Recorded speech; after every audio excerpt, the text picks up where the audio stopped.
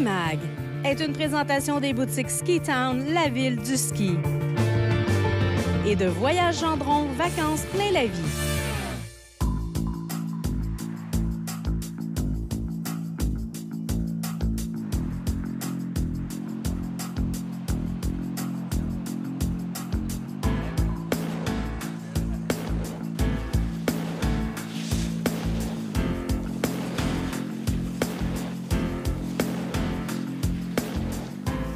À l'émission. Cette semaine, on poursuit notre découverte de l'État américain du Utah pour skier à la réputée station de Alta, qui était presque réservée aux skieurs euh, il y a quelques années.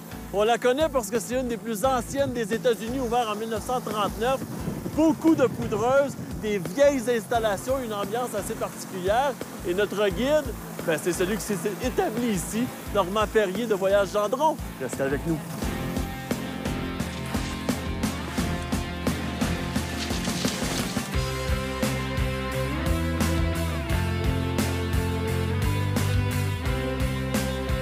La station de Salt Lake offre une élévation de plus de 3200 mètres.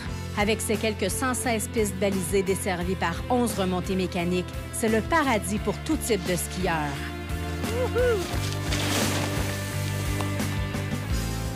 Normand, José, nos autres guides, comme nos parents, quand on vient en voyage dans l'Utah, vous avez vraiment choisi un style de vie particulier. Oui, c'est le fun. On est ici. Ben, moi, je suis au Utah depuis 28 ans maintenant.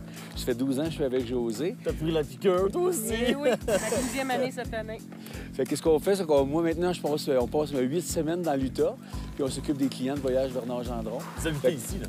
Non, on n'habite pas ici. On est ici à l'hôtel pendant 8 semaines, puis on reçoit les groupes à tous les semaines de voyage Gendron.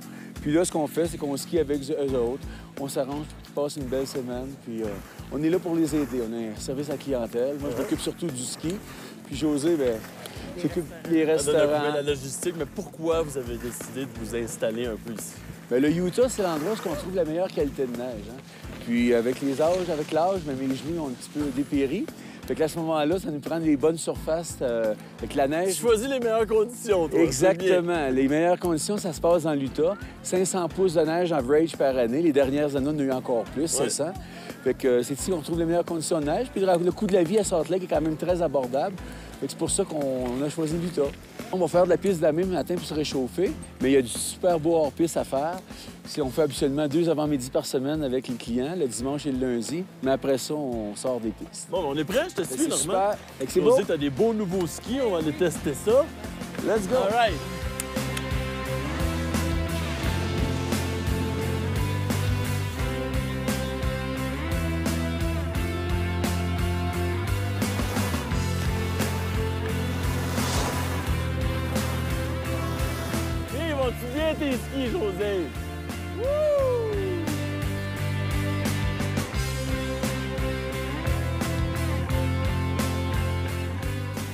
Ont souvent l'impression que parce que c'est une grosse montagne, il n'y a que du terrain difficile, mais ici, à Alta, il y a des belles pistes d'année, débutants, intermédiaires, là.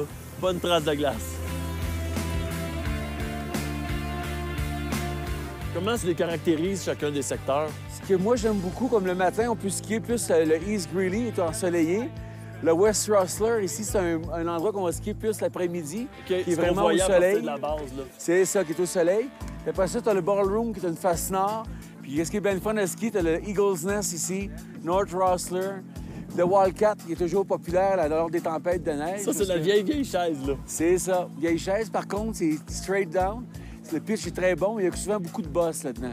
Les amateurs de boss, ils vont se tenir un peu dans ce coin-là. Aujourd'hui, on a quand même du terrain euh, très ensoleillé. Fait qu'on va aller faire un tour dans le East Greeley. Ouais. Bon, on va tricher un petit peu, nous autres, on va grimper un peu. Fait qu'on va aller skier probablement Gunsight puis Eye Nowhere. Bon, on a du pain sur la planche. OK, let's go, on y va.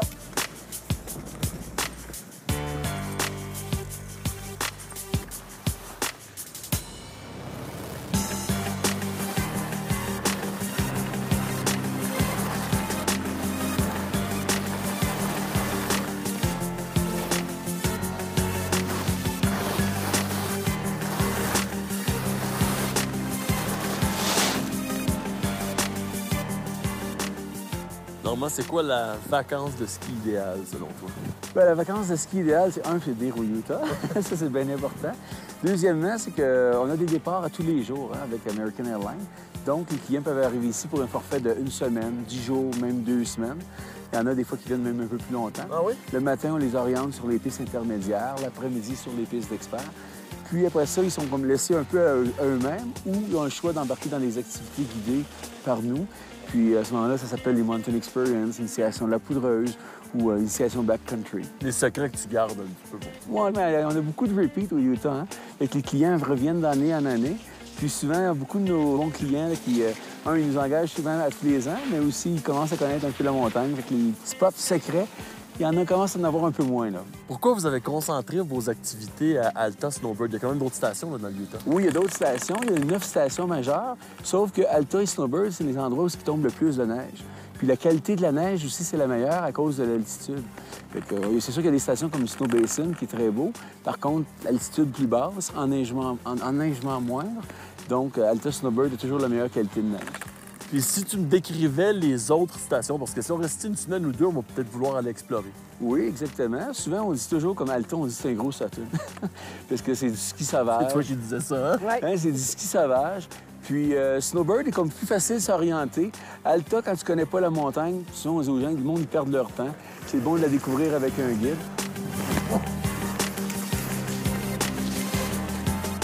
La ville de Salt Lake City s'est fait connaître avec les derniers Jeux olympiques d'hiver en 2002. On est passé de 2 900 000 visiteurs annuellement à plus de 4 millions, mais c'est encore assez tranquille dans les stations de ski.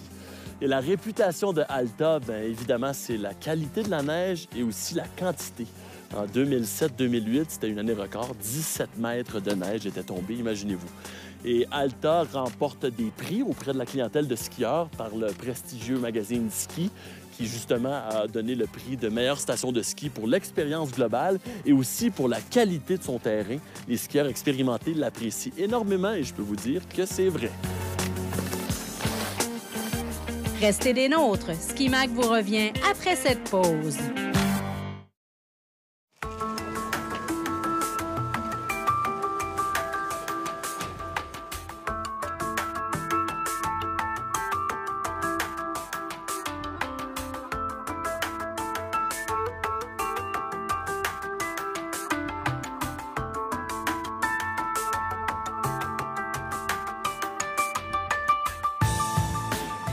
Simon, on regarde ce qu'on voit présentement à ma gauche, c'est le East Castle.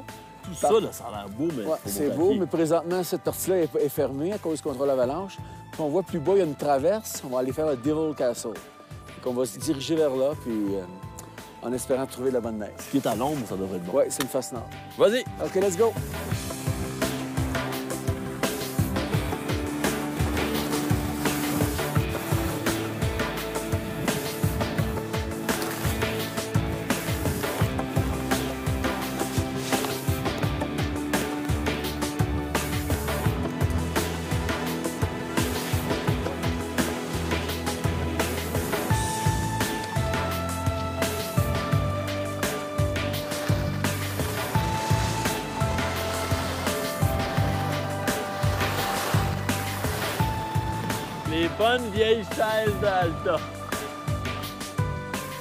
À l'époque, ça coûtait 25 sous pour une remontée et 1,25 US pour passer la journée à Alta. C'était à la fin des années 30. Et les premières chaises qu'on a installées, ben, c'était la Collins ou la Germania, qui était la première chaise double. Et ça, c'est une chose qui a fait la réputation d'Alta. Ces fameuses vieilles chaises doubles, sans barre de sécurité qu'on laissait les gens utiliser sur la montagne. Il en reste quelques-unes aujourd'hui.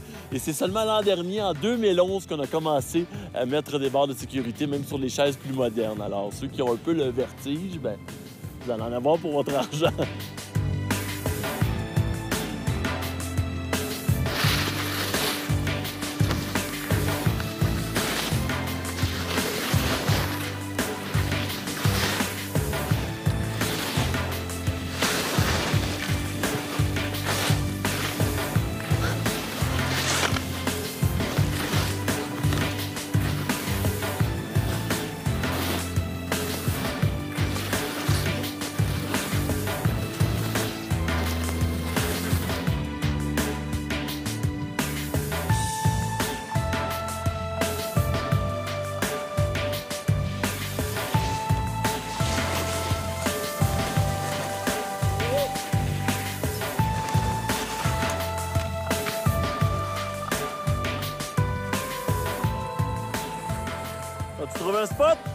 Resté ici. La neige devrait être possible à travers le bois. J'ai recruté quelques délinquants là, qui se promenaient de ton groupe. Je te dirais pas qu'ils étaient perdus, mais il y avait le goût de faire des piste avec nous autres. André, JP, Miguel, right. un petit peu de sous-bois. Ouais, on va dans le sous-bois. On est entre tes mains, monsieur le guide. Super. on y va? Qu'est-ce qu'on fait? On va juste rentrer ici, puis on va peut-être tenir un petit peu plus notre droite OK. pour éviter que le soleil aille trop chauffer la neige. Mais c'est un beau sous-bois, c'est gladé. Il y a un bon pitch. Le truc, c'est de le laisser aller en premier, puis après ça, on trouve notre ligne. Après vous, Norm? OK. Let's go. Comme I first.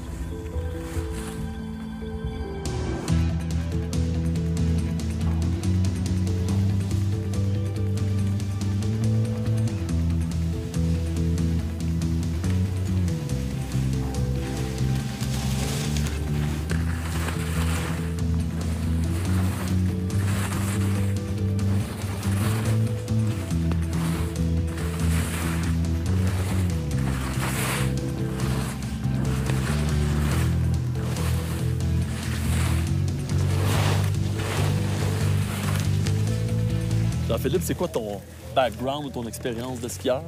J'ai commencé vers l'âge de 12 ans, ski à Mont-Saint-Bruno au début. Sur des voyages avec l'école, euh, Bromont, euh, J-Peak, euh, Sutton, des choses comme ça. Premier voyage en Europe, 2002. OK. Et me voici en 2012 au Utah. C'est très bien ici au Utah. La nourriture est variée. euh, le fait d'être en ville, d'avoir neuf stations à proximité, gros avantage. On peut aller trouver la neige là où elle est. C'est quoi la réputation du Utah pour toi? Euh, la neige, la neige légère, la, powder, la champagne powder qu'ils appellent. Fait que quand t'as décidé de venir ici, comment ça s'est passé? C'est quoi votre programme? T'es avec un de tes chums? Oui, je suis avec un de mes amis. euh, on est deux. Euh, on est venu avec Gendron pour... parce qu'on savait qu'il y avait des guides locaux qui connaissaient bien les centres. Fait que, on espérait la poudreuse, puis sinon, il y a quand même du beau ski à faire. Fait que c'est quoi le programme de, de vos vacances à peu près? Ben, on est ici pour euh, 12 jours, et puis on m'a recommandé skier surtout euh, Alta et Snowbird.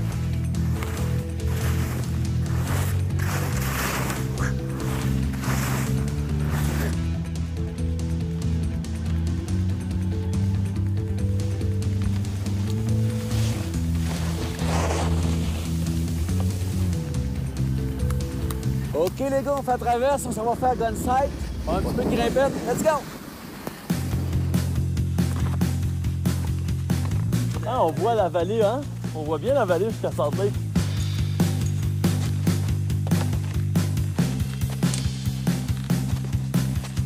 Gunsight que j'avais pas vu, euh, entrée intimidante, mais une fois que tu es dedans, ça va bien, très agréable. Ce qui est le fun à Alta, c'est euh, l'inclinaison qui est assez constante. Peu importe que tu sois en haut, au centre, en bas de la montagne, du débarcadère, aller jusqu'à l'embarquer, il y a du beau terrain à faire.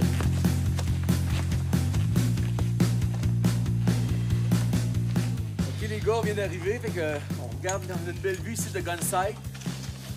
L'entrée en partant, il y a quand même des grosses bosses, mais après ça, il va s'améliorer. On est prêt? Ouais. On rentre tranquillement. André derrière. On prend le virage. Nice!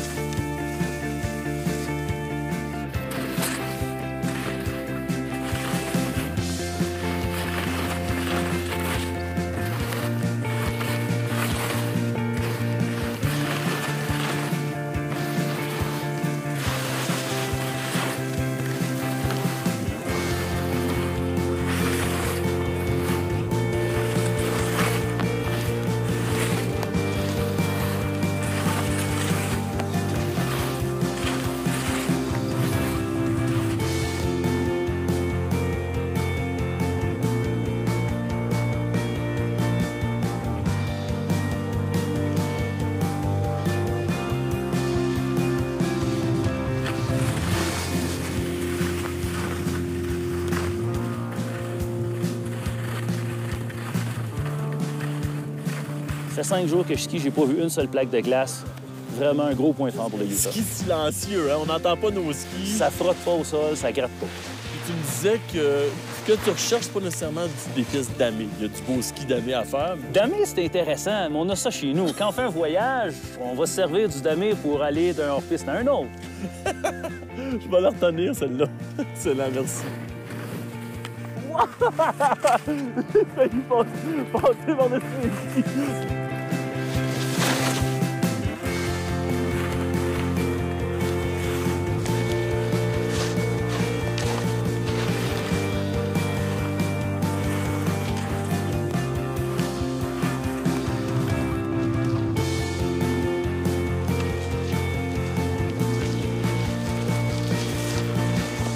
gars, chanceux, je vous souhaite qu'il tombe quelques pouces pour le reste de vos vacances. On est là pour quelques jours encore.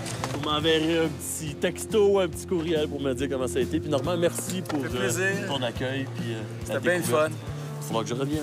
Fallait que tu reviennes quand il va avoir plus de poudre. Je reviens la terrasse. Ça, c'est l'heure de la bière. Good time, guys.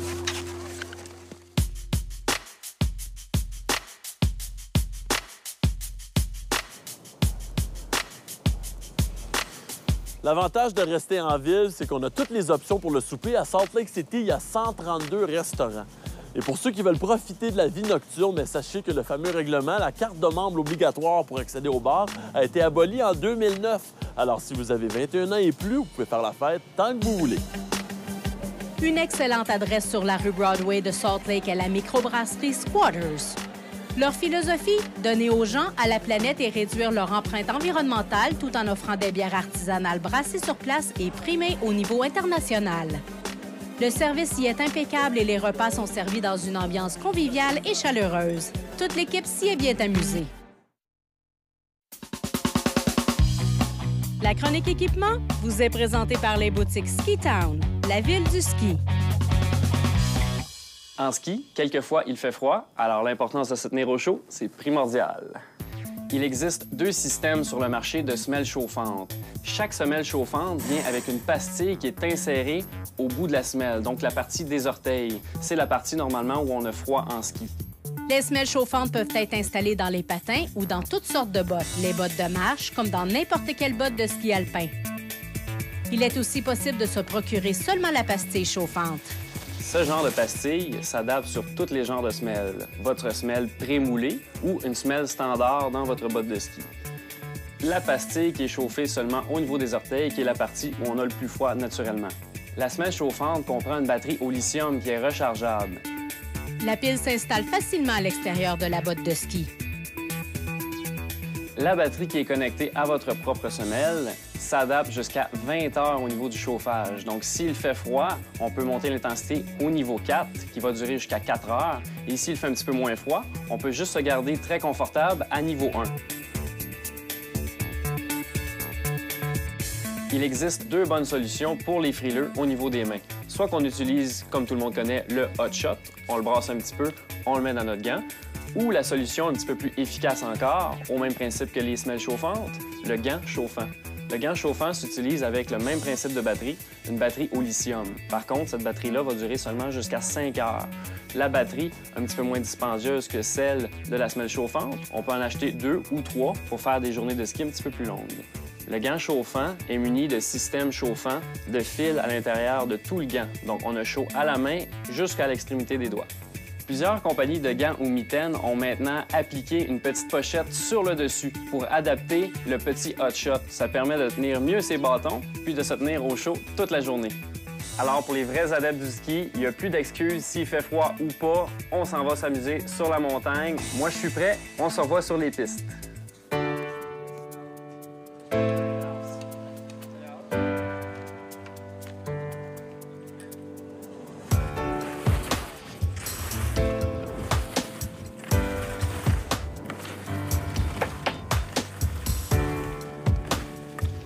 Vraiment une belle découverte. La mauvaise nouvelle, c'est que je vais être obligé de revenir pour vraiment goûter à cette poudreuse jusqu'aux hanches. Mais si je me fie à la météo, à la température, à l'ampleur des domaines skiables, ben, le Utah, c'est à mettre sur la liste de n'importe quel skieur. Avec l'accueil des gens, justement, de l'État et surtout de l'équipe de Voyage Gendron. Merci, justement, à Normand et à José.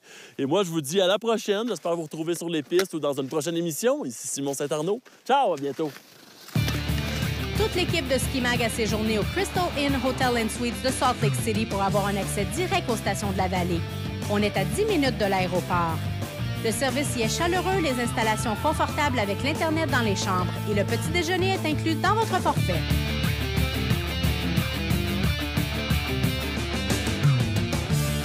Nous désirons remercier les vêtements Icebreaker. Chaleur, respirabilité, douceur et sans odeur.